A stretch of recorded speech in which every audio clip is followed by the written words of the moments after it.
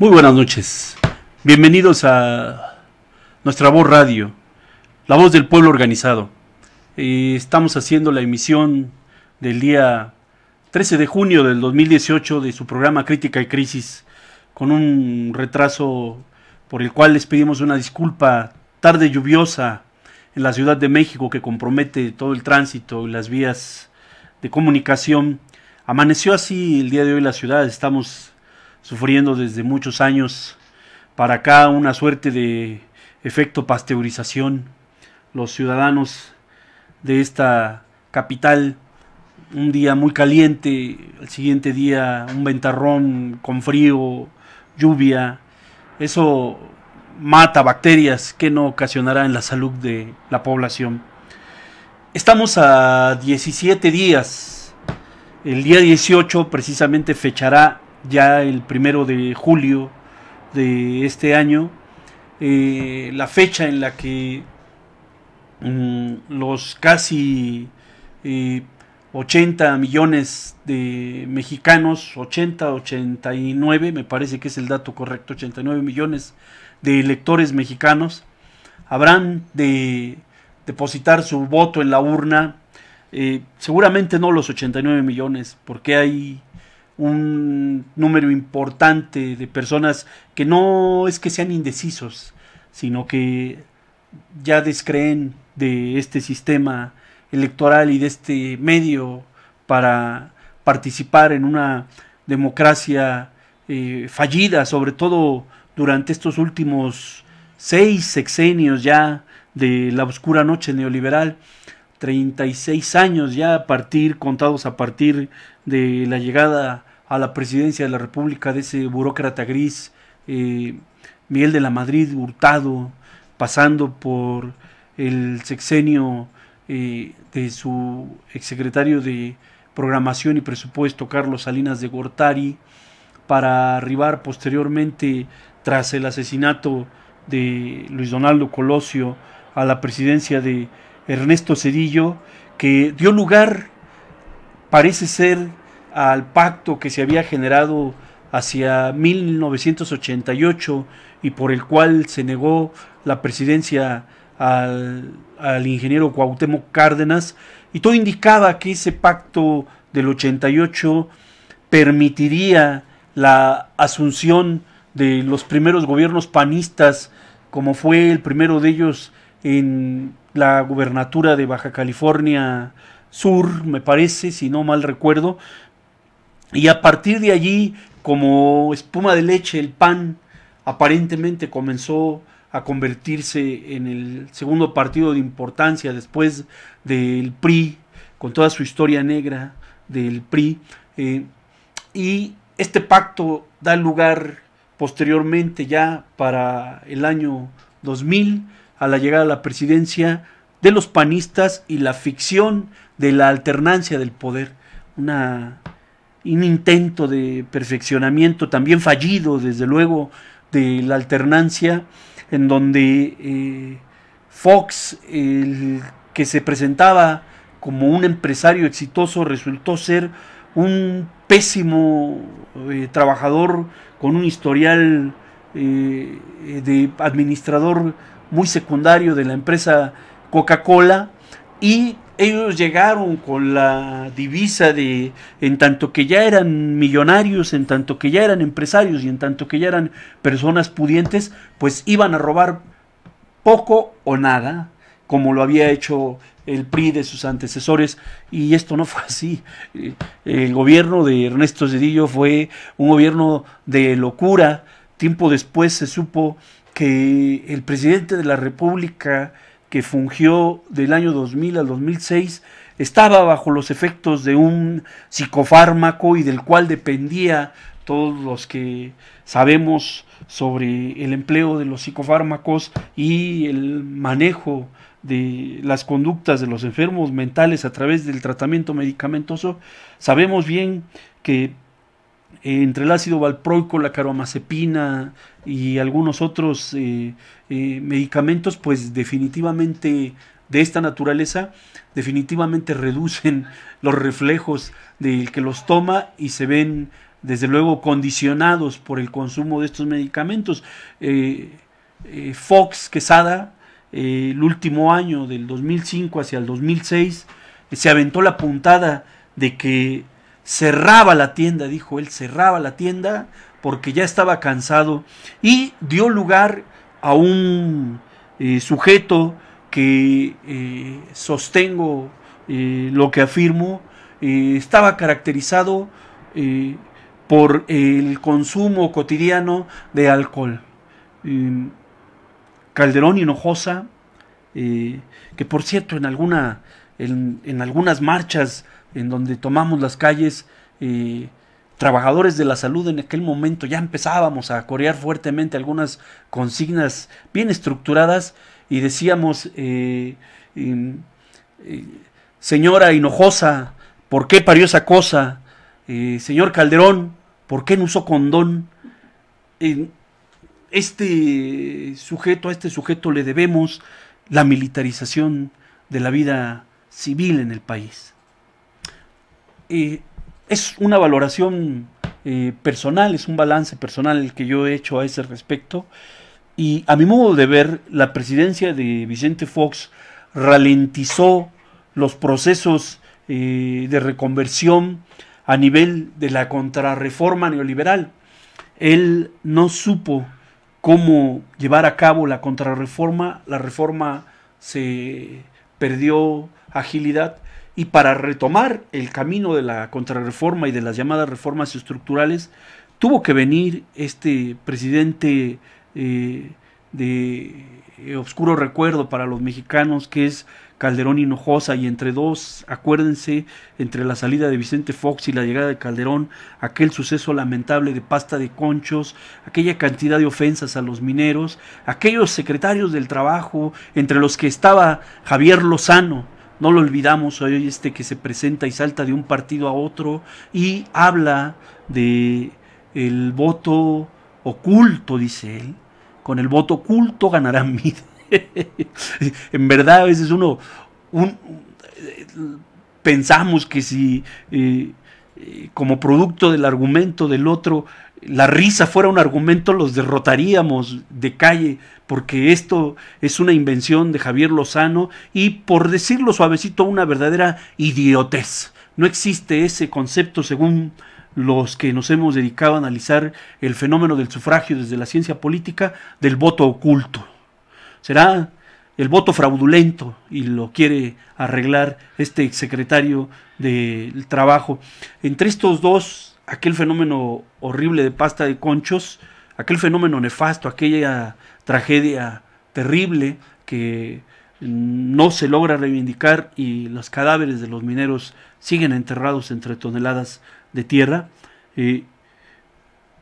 ralentizaron el proceso de la contrarreforma y solo se reactivó nuevamente a través del autoritarismo, de las posiciones de fuerza y de la violencia que ha traído la militarización de la vida civil en el país a partir del sexenio de Calderón Hinojosa. Y posteriormente, según los pactos ya establecidos por ellos, se les regresa la batuta al PRI en la persona de eh, este presidente que también es muy peculiar porque todo indica que este presidente no ha tenido tiempo en la vida para leer un penoso libro. Un solo libro. Y están ahí en la presidencia de la República no por sus capacidades. Están ahí porque hay todo un poder fáctico, una construcción jurídico-política, un dominio de clase que les permita a estos personajes estar al frente de gobiernos de países como el nuestro. Este presidente tan peculiar que llegó obedeciendo los mandatos de los centros financieros internacionales y eh, comenzó reactivando la contrarreforma y entre sus eh, reformas estructurales la de más eh, la de mayor peso y la que ha recibido una respuesta más contundentemente de los trabajadores precisamente de la Coordinadora Nacional de Trabajadores de la Educación y del Magisterio en su conjunto, porque eh, no hay que dejar de lado que precisamente, como bien nos lo explicaban nuestros compañeros maestros, la respuesta eh, eh, se ha hecho ante la contrarreforma educativa, se ha expresado a nivel de toda la, la República Mexicana. En todas y cada una de las secciones que conforman el CENTE, ahí se ha dado respuesta a la contrarreforma educativa. Y también nos explicaban nuestros compañeros maestros que donde la represión se ha ensañado más fuerte es en esos sitios donde la Coordinadora Nacional de Trabajadores de la Educación tiene poca presencia. Y parte de estos sitios es eh, eh, algunas entidades del norte de la República. Eh, teniendo como escenario sustantivo el asunto de la contrarreforma educativa, pero también la, la reforma energética, eh, el presidente saliente Enrique Peña Nieto llevó al máximo la tensión del pacto generado hacia 1988 y todo indicaba que le tocaban ahora, como lo estila el Partido Demócrata y Republicano en los Estados Unidos, 12 años para el PRI, es decir, la lógica indicaría que José Antonio Mit retomaría la presidencia de la República y quizá dentro de seis años si está presente o no Anaya, eso es secundario, pero le tocaría nuevamente al PAN, quizá para cabalgarla durante otros 12 años y mediante este juego eh, engañar a los mexicanos que la alternancia está viva y que por medio del sufragio podemos elegir cada seis años al verdugo que nos cortará la cabeza. Nada más que hay un detalle, que estos personajes estos gobernantes con lo que no cuentan es que el problema de la crisis económica, política, cultural en el país es a grado tal que ha generado un hartazgo en la población que les está diciendo ya basta. Y todas las encuestas de encuestas de intención de voto dan por ganador al candidato de la oposición. Entiéndase, que no es el candidato contra el régimen. Quizás sea el candidato de la oposición y que se encuentra al margen del poder central. El poder central nosotros lo definimos o lo entendemos como el poder que administra el PRI gobierno, el PAN y sus lacayos, sus aliados, dentro de los cuales se encuentra ya esa rémora, ese cascarón fundado después del 88 que es el PRD. De por sí la propia lógica del Partido de la Revolución Democrática era chocante cuando se fundó, los que analizábamos las cosas desde el punto de vista de la crítica social y nosotros veíamos que no hay revolución que sea democrática. Las revoluciones son, y la historia nos lo ha enseñado, es un acto eh, de fuerza, un acto de organización política en donde una clase se impone sobre otra. No hay una revolución democrática. Eso es un hecho. Pero el PRD se fundó así y creyó que con estas siglas podía hacernos creer que podemos transitar eh, democráticamente hacia un, un estadio más humanizado del capitalismo. Bien, el candidato de oposición tiene una preferencia muy superior al 40%, algunos le dan hasta el 52%, y están en el piso del empate, eh, yo diría que ni en segundo lugar, pareciera un tercer lugar porque pareciera que no hay nadie que ocupe un segundo lugar, o sea, entre el Obrador y la dupla Mid Anaya, no hablemos del Bronco, el Bronco es eh, ya ni siquiera la uña del cuerpo, es eh, la suciedad que está dentro de la uña, o sea, el tipo no representa absolutamente nada más que sus dichos y sus ocurrencias. Miren que esa jalada del FBI, del Bronco, es de plano una ofensa al pensamiento eh, crítico, pero ahí está el sujeto, algo lo sostiene y algo lo llevó allí a la candidatura a este eh, sujeto del norte del país. Pero no hablando de él, descartándolo, ni siquiera podemos afirmar que Mid y Anaya se encuentren en un segundo lugar. O sea, pareciera como que el segundo lugar está vacío y que se van al tercer lugar en un empate, tanto Mid como Anaya. Y todo indica por la tensión que se está viendo entre ambos grupos que no han podido llegar a un acuerdo para que uno de los dos decline y pasar eh, mm, ese 20 o 18% eh, eh, enterito hacia el candidato que se mantenga en la competencia para crear la ficción de que llegan al 40 y entonces se vuelven, eh, digamos, un adversario con capacidad para competir frente a López Obrador en el proceso del primero de julio. Esto todavía faltan 17 días, todavía faltan 17 días. Y si algo ha caracterizado a la forma de hacer política desde el poder central en México ha sido la traición, el engaño, la marrullería, embaucar, ha sido eh, una lucha descarnada desde el poder para mantener el poder por sí mismo. Eh, no podemos decir, como dicen algunos, que este arroz ya se coció. Y como aquí lo hemos señalado en cantidad de veces, no eh, nos convence eh, la postura de Andrés Manuel López Obrador. Y vamos a señalar simplemente tres aspectos que tocaron el día de ayer durante el último de los debates. Tocaron diferentes puntos, pero nosotros queremos un poco platicar sobre el tema de las desigualdades,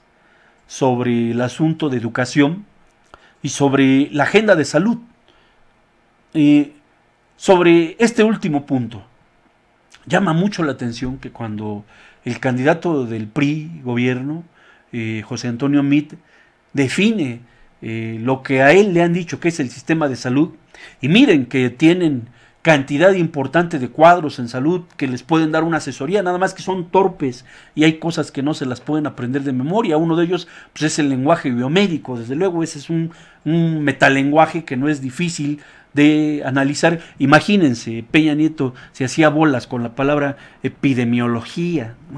ahí se hizo bolas, dijo que era un término que él jamás en su vida que había escuchado, en fin. Pero sí es de creerles que no conozcan sobre estos términos y llama mucho la atención que habiendo ellos creado y modificado, prácticamente habiéndose robado el proyecto de la antigua Escuela de Salud Pública de México y habiendo montado en su momento con el proyecto Soberón y con Julio Frenga a la cabeza el Instituto Nacional de Salud Pública, que hoy tiene su sede sustantiva en Cuernavaca y muchas otras sedes, y habiendo tantas eh, entidades, tantas universidades que se dedican ya hoy al abordaje del tema de la salud, como es el caso de los posgrados de la UAM Xochimilco con la salud colectiva y la medicina social, o u otras entidades como el Colegio de la Frontera Sur, habiendo gran cantidad de talentos y de cuadros formados desde estas escuelas, no le pueden explicar a José Antonio Meade que el Seguro Popular no es una institución de salud.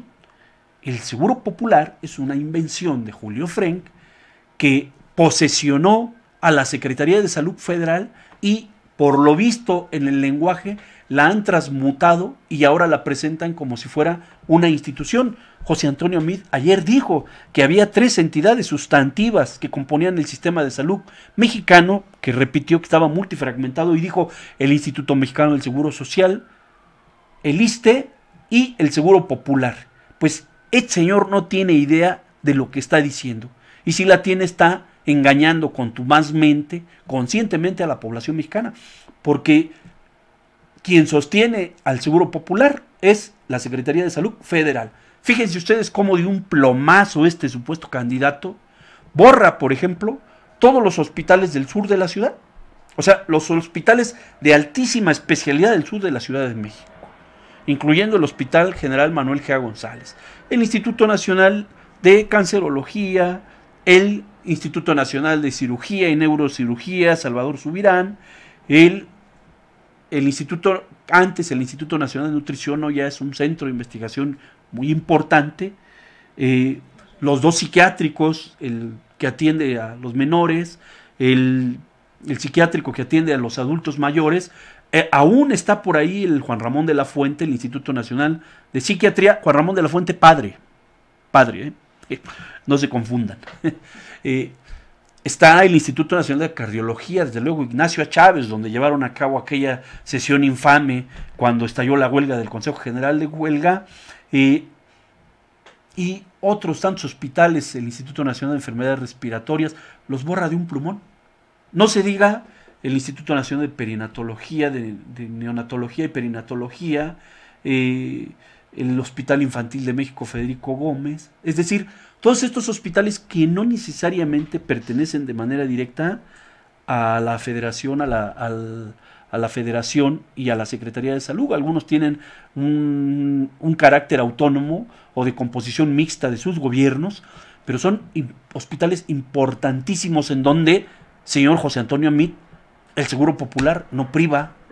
O sea, en estas instituciones no vale tener seguro popular, porque en estas instituciones hay un catálogo para definir qué pacientes son aceptados y cuánto tendría que pagar un paciente para eh, como concepto de diferentes acciones en salud. Pues eh, estas personas y en especial el, candidato oficial eh, confundió esto deliberadamente y esto no es desde luego el sistema nacional de atención en salud y cuidado. El sistema público de atención en salud no es igual a seguridad social seguridad social es algo completamente diverso. Es algo que hoy en México todavía sigue vinculado a la situación del trabajo como parte de, los derechos que el trabajador asume, eh, accede a esa seguridad social que hoy ya está también en vías de ser pulverizada, en vías de ser eh, multifragmentada, y es una forma de redistribución del salario. Todo el mundo lo sabe. Todo el mundo lo sabe, los que se han dedicado al estudio de estos fenómenos saben muy bien que esa es una forma indirecta de, eh, del pago de salario y desde luego de distribución del gasto social. la seguridad social es un conjunto de parabienes, en donde va incluido incluso el derecho a la vivienda de interés social, desde luego eh, todos los regímenes de jubilación y pensión no es el sistema de atención en salud. Otra cosa muy diferente, y esto hay que enseñárselos a estos sujetos que no tienen idea de lo que es la salud, otra cosa mucho, muy diferente es el sistema de atención en salud. Es decir, Instituto Mexicano del Seguro Social y EISTE, sin dejar de considerar a Pemex, sin dejar de considerar lo que tiene Sedena, Marina, porque son también formas de la seguridad social, tienen al interior un subsistema de atención en salud. Apréndaselo, señor Mitt, apréndaselo, porque eh, tampoco el candidato de oposición eh, le dio gran importancia al asunto, porque a lo sumo, como ya lo vimos aquí con el doctor Gustavo Leal, el asunto de la salud es el gran ausente en las agendas presidenciales, de las campañas presidenciales. Más de lo mismo escuchamos. Que si la seguridad universal, que si puedo escoger a mi médico, que si puedo escoger a dónde atenderme, que si... patrañas. Lo que es un hecho es que el sistema público de atención en salud está colapsado en diferentes entidades de la República, aquí mismo en la Ciudad de México, y dentro de ocho días, en nuestra emisión del día 20, tendremos a un grupo de compañeras de la red hospitalaria de la Ciudad de México para testificar que esto es así. Los 32 hospitales de la Ciudad de México están colapsados. Dense una vuelta por Valbuena, dense una vuelta por el general Villa, dense una vuelta por los pediátricos de Moctezuma, de Coyoacán, dense una vuelta por el materno infantil de Xochimilco y ustedes se darán cuenta a qué grado se encuentra el abandono de estas unidades. El Hospital General de Iztapalapa es un caso peculiar. Por algo y estamos a días de que se cumpla un año de ese nefasto acontecimiento en donde el sindicato golpeó a nuestras compañeras, el sindicato, la sección 12 del Sindicato Único de Trabajadores del Gobierno de la Ciudad de México, que por cierto hoy se encuentran en plena campaña electoral. A todo lo que da Juan Ayala, a todo lo que da Héctor Carrión, el titular de la sección 12, para hacerse uno diputado de la Cámara de Representantes de la Ciudad de México y otro diputado federal por la Gustavo A. Madero, a todo lo que da en la campaña electoral. Es más, están enviando a las casas de los trabajadores en una violación fragante de muchas garantías a miembros del sindicato para constatar que vivan ahí los trabajadores de Cedesa y del gobierno de la ciudad en esos domicilios preguntando a través de comisionados de este sindicato preferencias electorales. ¿Y quién los detiene? ¿Quién los contiene? Ellos ya dan por hecho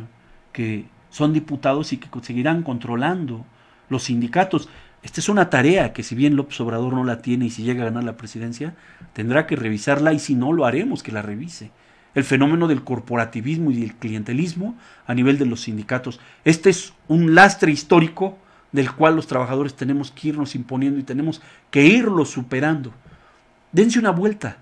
Estamos a un año de que se cumpla el 26 de junio eh, la golpiza del Hospital General Iztapalapa y este hospital, les mencionábamos que es un emblema del abandono. Este hospital podemos asegurar que es uno de los hospitales a los que la Secretaría de Salud en su momento, Armando Agüet, se lo dejó completamente a la pandilla de la sección 12 del Sindicato Único de Trabajadores del Gobierno de la Ciudad de México, para que hicieran con ese hospital lo que quisieran a nivel de entrega, venta de plazas, corrupción, eh, eh, una cantidad importante de comisionados sindicales, hasta que vaciaron la plantilla de trabajadores y tenían, lograron lo que se proponían, a 12, 13 enfermeras recibiendo la guardia nocturna con una cantidad impresionante de pacientes y desde luego con todos los riesgos que implica trabajar bajo estas condiciones. No hay nada en la agenda de salud de los candidatos. Es más de lo mismo. Y el tema de salud es uno de los temas de mayor impacto, de mayor importancia, que por sí mismo deberían de conocer un poco más, los candidatos deberían de preocuparse un poco más por entender qué es la salud, la salud bajo un concepto positivo, qué es la enfermedad y qué son los daños a la salud y para qué están los hospitales. Se atrevieron a decir, por ejemplo, Anaya, que haría funcionar los hospitales, aquellas unidades que no funcionaran en fin de semana, con la misma cantidad de trabajadores para darle atención a la población. Ya se está haciendo. En el Instituto Mexicano del Seguro Social, Miquel Arriola antes de irse abrió los quirófanos en fin de semana y con la misma cantidad de personal está atendiendo demanda importantísima. No alcanza la plantilla de enfermeras a nivel nacional, no llega a las 300 mil. El grupo de médicos, además de estar siendo presionados de manera importante por el asunto del incremento de la judicialización laboral, están también cayendo como moscas no es creíble que hoy los médicos que tienen su especialidad y su sobreespecialidad, algunos le llaman subespecialidad, yo discrepo de eso, es una sobreespecialidad, porque los médicos se hacen cirujanos y después buscan la especialidad de pediatría o alguna otra para poder ejercer con mayor fineza el trabajo técnico profesional, es una sobreespecialidad, desde luego, no es creíble que muchos jóvenes de las nuevas generaciones tengan estos niveles de preparación y estén recibiendo salarios de hambre y estén recibiendo tratos eh, vejatorios, tratos indignos a nivel profesional. Y desde luego no hablamos ya de la plantilla de nuestras colegas enfermeras, en donde hay un problema. Ojo, el CIARE, que es el sistema de administración de información en enfermería, reporta diariamente eh, un estadístico y dentro de ese estadístico en el grupo de edad, sorpréndase, el grupo grande de enfermería, un 80% de las 300.000 enfermeras en, en México tienen entre 30 a 60 años. 30 a 60 años. Y se carga más entre las 40 a las 50, 50 años. O sea, más o menos un 60%. Es decir, el grupo de enfermeras en México está envejeciendo. Y esto es un problema importantísimo. Pero esto, desde luego que los candidatos no lo saben porque no quieren escuchar a los trabajadores. Porque piensan que, como lo bien señala el doctor Gustavo Leal,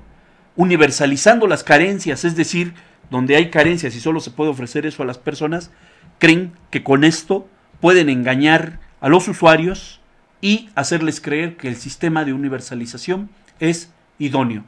La reforma en salud es una de las contrarreformas que no debe de pasar. Es una de las contrarreformas que se debe de detener y se debe de discutir, como no lo hicieron con la educativa, con los trabajadores de la salud, primero que nadie. Primero que incluso con los propios sindicatos, como es el Sindicato Nacional de Trabajadores de la Secretaría de Salud Censa, o u otros sindicatos, el propio sindicato del ISTE o del Seguro Social, no se diga, sindicato del Seguro Social es una máquina de represión. Con ellos no se puede discutir el asunto de la reforma en salud, tiene que ser con los trabajadores. Tienen que escuchar a los trabajadores para que sepan cuál es la realidad de las unidades de atención en salud. Vamos a cerrar esta parte del asunto de salud, vamos a una pausa muy breve y regresamos con el tema de educación y desigualdades. No sin antes agradecerle a Israel Rincón por la producción, desde luego también a José Manuel Lip y a Blanca González. No se vayan, Regresamos en menos de un minuto.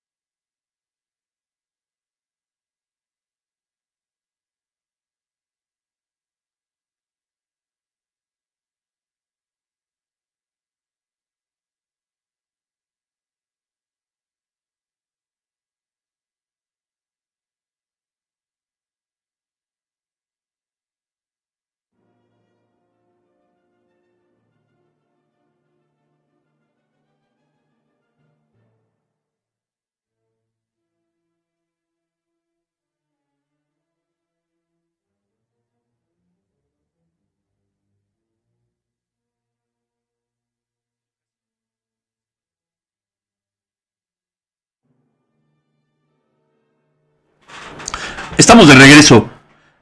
Verán ustedes, precisamente el día de ayer, eh, martes 12 de junio,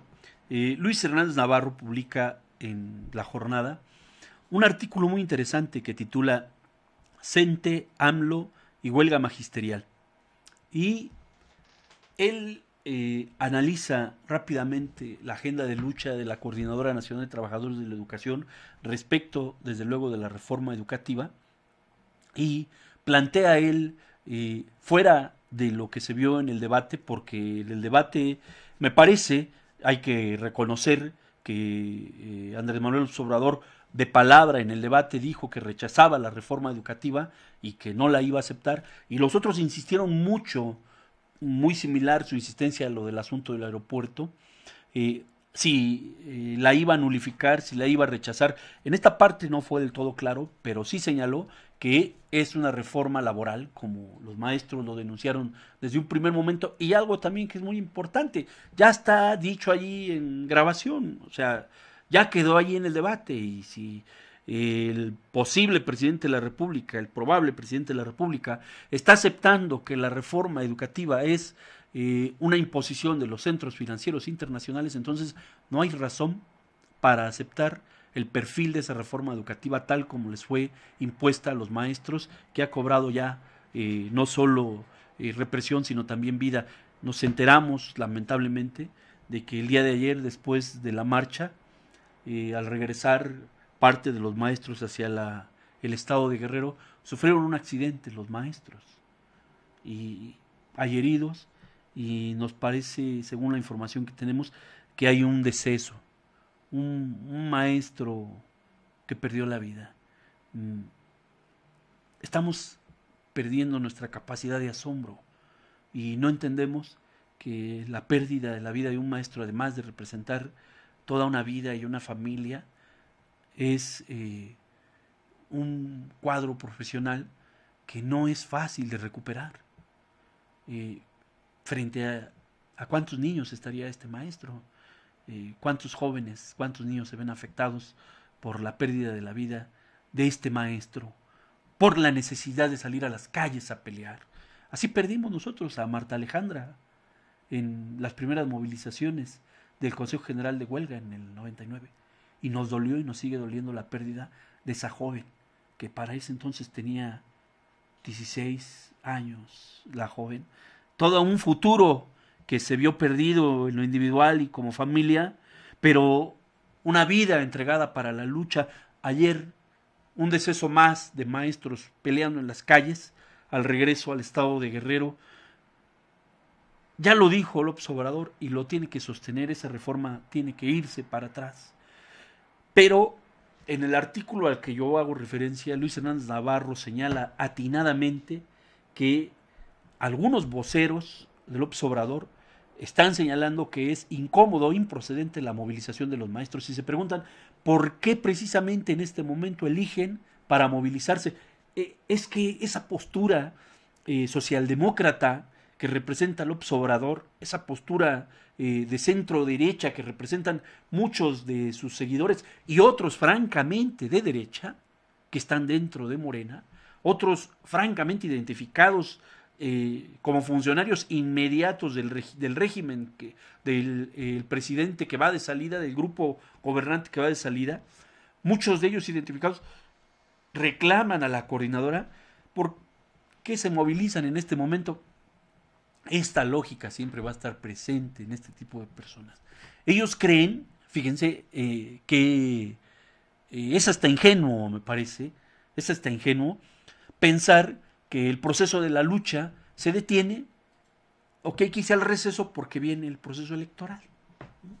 porque viene un cambio para un grupo que quiere eh, el gobierno de la, de la República y entonces hay que meter un receso a la lucha de clases. Hay que irnos a descanso y vamos a esperar el resultado del proceso electoral de, de primero de julio. No, ya lo dijimos aquí, la coordinadora tiene su propia agenda de lucha y el asunto de la reforma educativa se ha tocado y retocado en todo momento y los maestros han sabido demostrar a través no únicamente las movilizaciones, porque han hecho eventos de corte académico de talla internacional, trayendo pedagogos de otros lados y del propio país, con un análisis profundo de la situación y han demostrado que esta reforma busca estandarizar la enseñanza y que la enseñanza no puede quedar estandarizada en un país que precisamente nos lleva al siguiente tema, que es el asunto de las desigualdades. Es decir, para cerrar esta parte, si bien los candidatos Mid y Anaya eh, mencionaron y repitieron y tuvieron, me parece, el cinismo de decir ante las cámaras que van a continuar con la reforma educativa, por lo menos el candidato de Morena ratificó de palabra que la reforma es una imposición de los centros financieros internacionales y que debe de respetar a los maestros, cosa que no hizo. en un país, insisto, lleno de desigualdades, miren, el tema de la desigualdad eh, y su origen en términos de la generación de inequidades, que es lo que genera el efecto que es la desigualdad. Cuando hablamos de desigualdad, en realidad estamos hablando de puros efectos, ¿no? que se miden con diferentes indicadores. Y en este caso no dejaban de, mencionar al propio Coneval, una institución pues, del propio gobierno, que eh, suelen medir con indicadores bastante mañosos y un estadístico que no convence francamente a mentes críticas, eh, el problema de la desigualdad. Y yo quiero señalar que el tema precisamente ha sido estudiado de manera importante, fíjense, nada menos que por la salud colectiva. Tenemos estudios importantes tanto en Brasil como en Ecuador y un poco en México sobre el asunto de desigualdades vinculadas al fenómeno de la salud, pero en España, en España eh, hay un grupo de investigadores muy importante que trabaja para la Universidad Pompeu Fabra de Barcelona, y ellos tienen un posgrado de desigualdades y salud. Ellos dieron origen en el año 2010 a este material, eh, empleo, trabajo y desigualdades en salud, una visión global. Es un material estupendo porque eh, revisa el asunto del empleo, revisa el asunto del trabajo, hace algunas definiciones que nos permiten ver que empleo, trabajo no es lo mismo y dejan ver eh, a través de más de 200 estudios de caso cómo se genera precisamente el fenómeno o el efecto que hoy conocemos o que estamos aquí señalando como desigualdades. Es decir,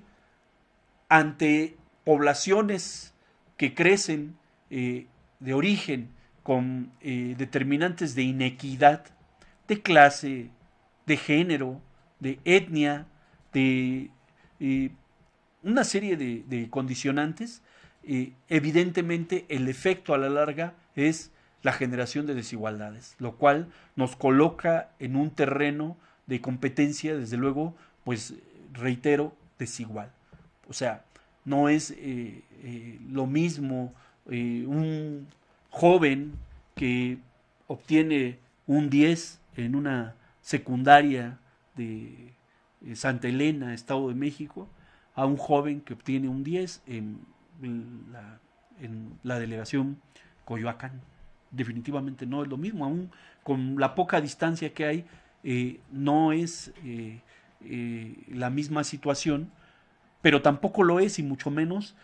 las diferentes regiones que hoy componen a nuestro país y nos vamos a dar cuenta que entonces en el tema de las desigualdades no hay tampoco por parte de los candidatos absolutamente ninguna propuesta. Bueno,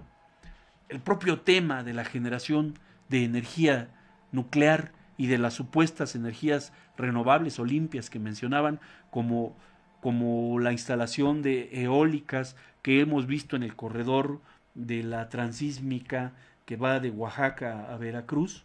Eh, quien ha pasado por ahí por la ventosa ha visto que el viento corre, pero a todo lo que da. Pues ahí instalaron eh, algunos eh, eólicos y previo despojo de tierra para las comunidades, han generado ahí eh, o pretenden generar ahí energía que no podemos afirmar que sea energía limpia, si eso supone un despojo para la comunidad, como tampoco lo supone el despojo del agua y leyes que están a punto de ser eh, una nueva ley que está en ciernes para regular el asunto del acceso al agua, en donde están anunciando ya con toda claridad que va a ser restringido este derecho y que va a ser administrado eventualmente por eh, el Estado mexicano. Es decir, los candidatos el día de ayer en el debate, en el tercero y último debate que sustentan, no dan color en términos de propuesta para ninguno de los temas, salvo la afirmación que pudimos rescatar en términos de, del tema de educación por parte de López Obrador y se van así con esa supuesta intención de voto ya para los 17 días restantes para la elección presidencial. Esto es lo que tenemos, pero damos, nosotros no damos por hecho de que efectivamente la situación está completamente definida. Muchas cosas todavía pueden pasar. Y lo cierto es que el poder central insiste,